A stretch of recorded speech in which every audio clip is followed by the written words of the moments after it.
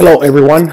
In uh, today's video, we're going to show you how you can enable export options if you have a view embedded on an HTML page in your Zoho Creator database.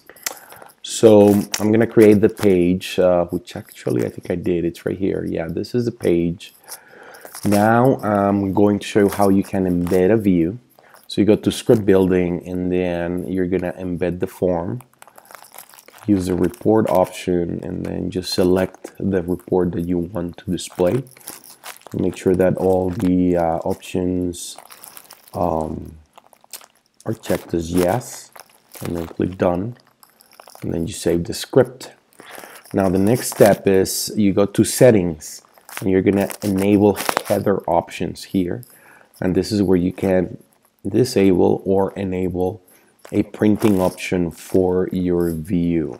So you click Save, you access uh, the page, and then the, the data is going to be displayed on your page, and also you're going to be able to print it or download it as a PDF. So hope this helps, and let us know if you have any other um, script requests for your applications. Thank you so much. Have a great day.